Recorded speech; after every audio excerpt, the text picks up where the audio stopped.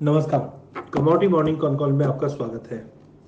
शुक्रवार के सेशन में कमोडिटी मार्केट में हमने काफ़ी बड़ा उतार चढ़ाव आते हुए देखा खास करके अगर सोने चांदी की बात करें तो जिस ढंग से लॉकडाउन ओपन होने की बातें चल रही है यूएस में, उसके बाद हमने एक प्रॉफिट बुकिंग आते हुए देखा नो डाउट मेडिकल्स पे भी काफ़ी काम हुआ है, जिसके चलते उम्मीद जताई जा रही थी।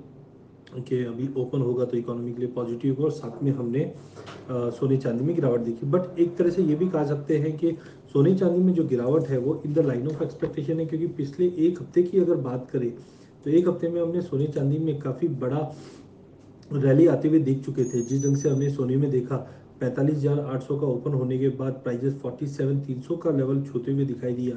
तो एक प्रॉफिट बुकिंग ड्यू थी, वो मार्केट में आती हुई दिखाई दी।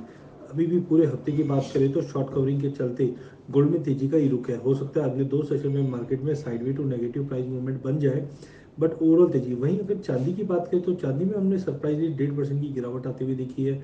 अभी भी थोड़ा बहुत दबाव दिखा रहा है, जो फोर्टी वन फाइव हंड्रेड से फोर्टी टू थाउज़ेंड तक का भी लेवल दिखा सकता है। वहीं क्रूड ऑयल की बात करें तो लास्ट हफ़्ते में हमने करीबन तीस परसेंट की गिरावट देखी हमने ऑलमोस्ट दो हज़ार से प्राइजेस को 1380 का लेवल छूते हुए देखा, जो करीबन 30 परसेंट की गिरावट काउंट होती है।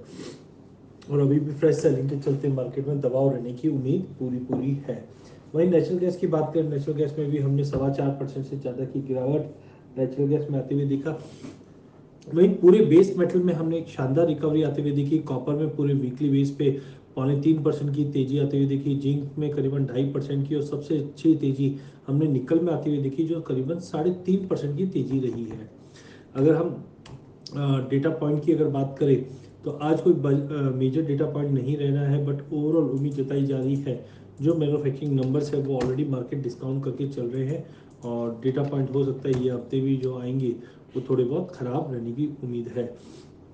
खास करके ट्रेड बैलेंस की बात करें तो आज मॉर्निंग में चाइना से डेटा आया है जो minus zero point one one trillion dollar आना था, जिसके चलते minus zero point one nine trillion तो वैसे ही डेटा खराब रहेंगे। मैन्युफैक्चरिंग एंड सर्विस पीएमआई के आंकड़े हमें थर्सडे आने हैं। चाइना से बुधवार को लीडिंग इंडिकेटर के डेटा आएँगे, वो भी एक्सपेक्टेड थोड़े से ख़राब रहने की उम्मीद है।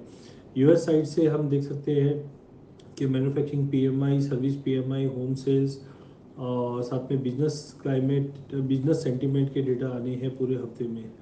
इंटरनेशनल मार्केट की बात करें तो गोल्ड में थोड़ा बहुत गिरावट है 1700 डॉलर के नीचे प्राइजेस ट्रेड कर रहे हैं बट सस्टेनेबल नहीं लगते हैं, क्योंकि 1700 का काफ़ी इंपॉर्टेंट रेजिस्टर पहले भी हमने देख चुका है। अगर ये हफ़्ते में 17 के नीचे अगर क्लोज होता है तो थोड़ा बहुत कंसर्निंग है अदरवाइज़ प्राइजेस फिर से 1740 से लेकर 1760 तक के लेवल गोल्ड में दिखा देगा। वहीं चांदी 15 डॉलर से 16 डॉलर के बीच में ट्रेड करती हुई दिखाई देगी। डब्ल्यू टी में दबाव रहेगा, जो 22 से 21 डॉलर तक का लेवल दिखा देगा, जबकि ब्रांड क्रूड ऑयल में गिरावट का रुख है कंटिन्यू 30 डॉलर के नीचे खराब है, जो 25 डॉलर तक का लेवल दिखा सकता है। नेचुरल गैस में उछाल लाने की कोशिश होगी बट अभी भी ट्रेंड वीक रहने की उम्मीद है। वीक्स इंडेक्स में वापस बढ़ोतरी होना चालू हुई है। पैंतीस पैंतीस के करीब का इंडेक्स है, जिसके चलते आज इक्विटी मार्केट में थोड़ा दबाव देखने मिल सकता है।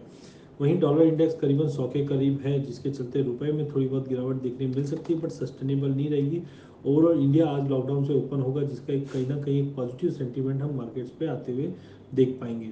आज के ट्रेड सेटअप की बात करें तो सोने चांदी में मॉर्निंग आवर्स में थोड़ी बहुत गिरावट देखने मिल सकती है। पैंतालीस हज़ार पाँच सौ, पैंतालीस हज़ार दो सौ के बीच में गोल्ड मिले तो वहाँ पे थोड़ा बहुत लेके चल सकते हैं। पैंतालीस हज़ार के ऊपर गोल्ड का काउंटर स्ट्रॉन्ग लगता हुआ दिखाई दे रहा है। वहीं चांदी फोर्टी टू थाउज़ेंड के करीब मिले तो लेके चलना है। दिन के सेशन में सोनी चांदी में गिरावट रह सकती है but later in the day में बाइंग आती हुई दिखाई देगी। Crude oil technically oversold है बट कोई भी उछाला मिले, उसमें बेच के चल चलना है। अगर इंटरनेशनल की बात करें तो तेईस सत्तर के आसपास ट्रेड कर रहा है, अगर रुपए की बात करें तो कभी करीबन हमें लगता है कि प्राइजेस में अगर 1550 तक का भी जंप आए तो बेच के चलिए 1350 तक का ओवरऑल टारगेट देखने मिल जाएगा। वहीं नेचुरल गैस में एक सौ बत्तीस पैंतीस तक के जंप पे हम बेच के चलेंगे।